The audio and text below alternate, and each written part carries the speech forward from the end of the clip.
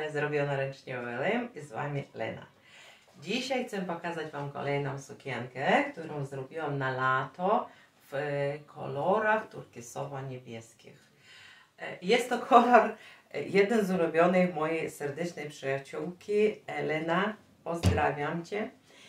I e, ja mam też biżuterię zrobione w tym kolorze, w kolorach i pomyślałam, dlaczego by nie miała być sukienka właśnie e, w takich kolorach, bo na lato faktycznie jest bardzo fajna, ponieważ dużo czasu spędzam nad morze w ciepłych krajach, to dlaczego nie miało być właśnie turkisowe? Chociaż w mojej garderobie na przykład takich kolorów no jakoś nie dominują. Więcej żółty, pomarańcze, o czym mówię cały czas.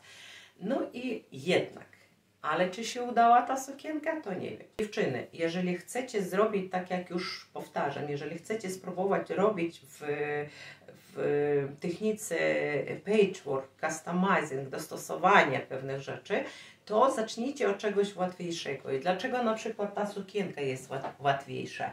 Bo tu jest mniej, yy, owszem, ona też jest patchworkowa z różnych kawałków, ale jest mniej cięcia, dlatego łatwiej zrobić taką sukienkę. Zaraz Wam pokażę ją z blisko, powiem co i jak. Wiem, dostosowałam, tak jak zapewne już widzicie, te rękawy dostosowałam bardzo cieniutkie, w miły dotynku. W ogóle to jest e, batik, bardzo cieniutka, ona prawie niewiesoma, prawie nic nie waży.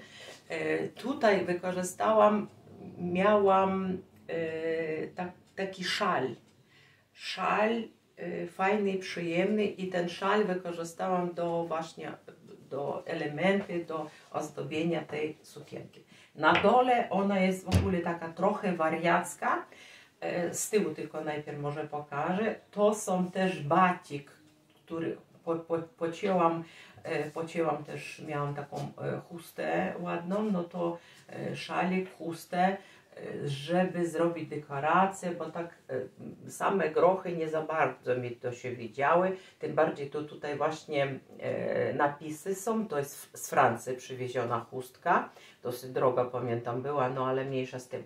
W każdym bądź razie teraz będzie mieszkać na, na mojej sukience i idealnie pasowała, bo ten materiał też cieniutki, no to do, na niego do, dołożyłam właśnie te, te ozdoby, aplikacje z batika. Więc rękaw widzicie, z boku też dołożone różne materiały w nieprawidłowych kształtach.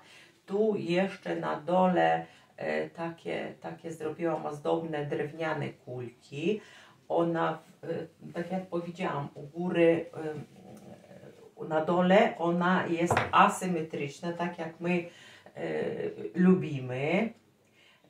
Jest jeszcze jedna chusta wykorzystana do tego, aplikację. I zobaczcie, ona jest taka pocięta, poszarpana, e, może na tą stronę jeszcze pokażę, czyli dużo nierówności e, jest na tym i e, końce, końce nierówne, niesymetrycznie, jest dosyć szeroka, bo zrobiłam ją na lato, żeby ona taka była e, fajna, lekka, szeroka, zwiewna. No i e, taką sukienkę zrobiłam. Zaraz Wam ją pokażę. Chciałam tylko powiedzieć, dziewczyny, na lato też, jeżeli nawet nie, nie wykorzystujemy grube materiały jeans, który łatwiej jest w pracy i bardzo często go wykorzystuję, to z pracą na przykład cienkich materiałów jeszcze łatwiej. Nie wiem jaką macie maszynę, ale nie każda maszyna na przykład szyje futra, skóry i tak dalej. No moja akurat ostatnio nawet czapkę robiła, to mi nawet taka, takie futro dosyć grube, owcze to też wzięło. No ale, ale, ale nie wiem. Czasami szyję takie sukienki, kiedy jestem na wczasach, to siedzę przy basenie i sobie szyję, wtedy robię w ogóle całą sukienkę ręcznie, tylko igłą. Ale kiedy jestem w domu, to oczywiście wykorzystuję maszynę, bo wtedy jest łatwiej, szybciej. No i tak to wygląda. Pokazałam i zaraz zobaczycie tą sukienkę, jak wyglądam w całości. A ja chcę e, podziękować Wam za to, że wchodzicie na, moje, na mój kanał, e, za to, że piszecie komentarze. Nie zapomnijcie podpisać się, jeżeli jesteście pierwszy raz.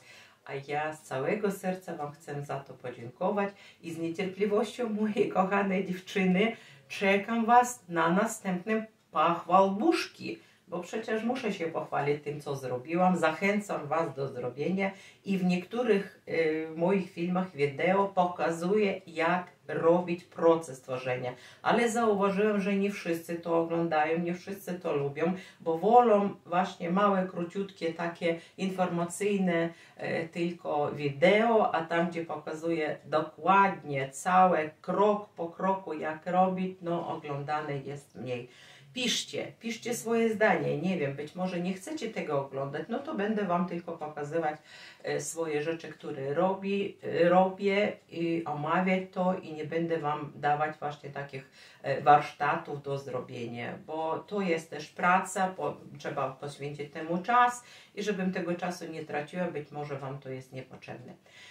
Wszystkiego dobrego, dużo Wam szczęścia, kreatywnych pomysłów, realizacji i do zobaczenia w następnym wideo. A ja czekam na Was z ogromną niecierpliwością. Pa, pa.